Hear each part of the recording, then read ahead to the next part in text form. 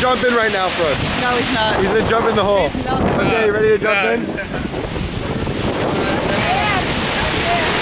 A giant hole. And there's some brute, there's uh, some Puerto Rican legend that some guy put his cow in here. And every night he's trying here.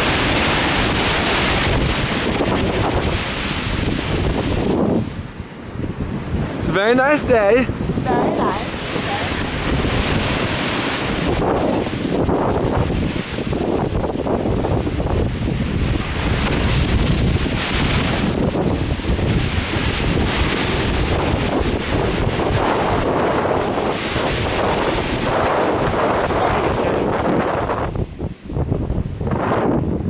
There where we were before.